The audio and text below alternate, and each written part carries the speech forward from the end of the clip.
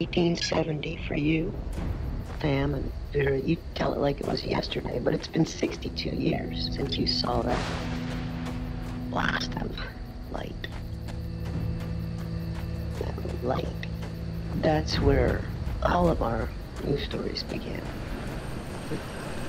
Streaked across the sky, mesmerized, but unnerving. Even in daylight, Joseph, you said was gloriously bright. None of us understood. But, well, we followed. And we all felt some kind of trepidation, yet attraction as we approached it, and